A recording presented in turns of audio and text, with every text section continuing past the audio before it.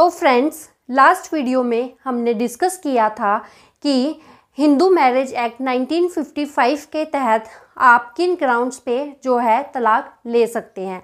उसमें हमने आपको बताया था कि मेल्स के लिए और फीमेल्स के लिए कुछ कॉमन ग्राउंड्स हैं नो ग्राउंड्स जिनके बेसिस पे चाहे वो मेल हो, चाहे वो फीमेल हो, चाहे वो हस्बैंड हो या वाइफ हो, वो तलाक इन आधारों पे ले सकते हैं। और हमने आपको ये भी बताया था कि इसके अलावा चार स्पेशल ग्राउंड्स हैं जिनके आधार पे जो है फीमेल इन नो ग्राउंड्स के अलावा इन चार स्पेशल जो हैं ग्राउंड्स के बेसिस पे भी डिवोर्स ले सकती हैं।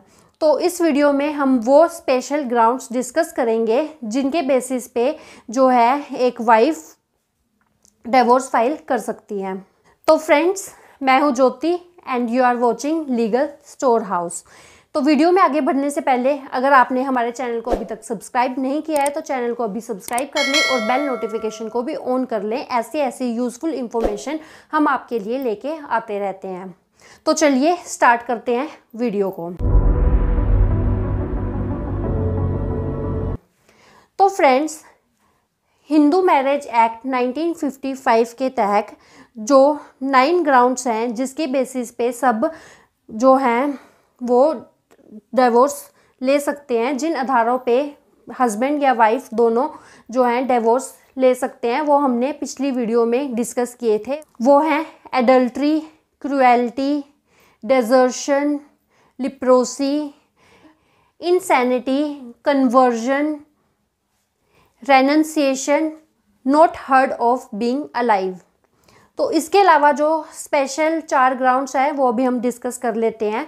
तो फ्रेंड्स जो स्पेशल ग्राउंड्स हैं, जिसके बेसिस पे सिर्फ़ जो वाइफ्स हैं, वो तलाक ले सकती हैं। उनमें से जो पहला आधार है, पहला ग्राउंड है, वो है प्री एक्ट बाइगेमी तो फ्रेंड्स अगर कोई हस्बैंड एक से ज़्यादा शादी करता है तो आप इस आधार पे जो है डिवोर्स जो है वाइफ ले सकती है। अगर उनका हस्बैंड जो है, वो एक से ज़्यादा शादियाँ करता है तो इसको आधार लेके आप इस ग्राउंड के बेसिस पे तलाक की मांग कर सकती हैं।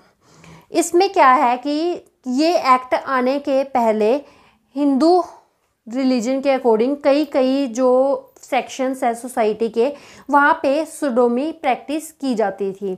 इस एक्ट के आने के बाद अगर इस सेक्शन के तहत कोई महिला तलाक लेना चाहती है तो वो इसको आधार बना के भी डिवोर्स ले सकती है। नेक्स्ट है रेप सोडोमी बिस्टियलिटी तो अगर कोई वाइफ कोर्ट में ये प्रूव कर दे कि उसका हस्बैंड गिल्टी है रेप जो कि आईपीसी के सेक्शन 395 में डिफाइंड है, उस सेक्शन के तहत गिल्टी है रेप का, या फिर वो प्रैक्टिस करता है सोडोमी या फिर बिस्टियलिटी तो इस ग्राउंड पे भी आप जो है डिवोर्स ले सकते हैं और तलाक की मांग कर सकते हैं।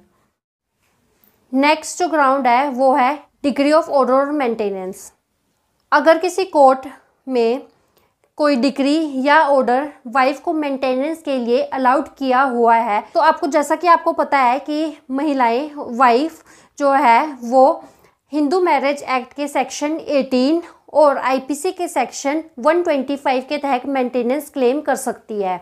और किस और किसी केस में अगर कोर्ट ने ये मेंटेनेंस अलाउड कर दी है और उस मेंटेनेंस को अलाउड किए हुए एक साल हो चुका है और लेकिन एक साल में अगर हस्बैंड मेंटेनेंस शुरू नहीं करता है या फिर मेंटेनेंस को बीच में ही रोक देता है तो आप इस आधार पे भी जो है, इस, इसको भी आधार ले सकती हैं डिवोर्स के लिए और इस ग्राउंड को भी यूज़ कर सकती हैं तलाक पाने के लिए।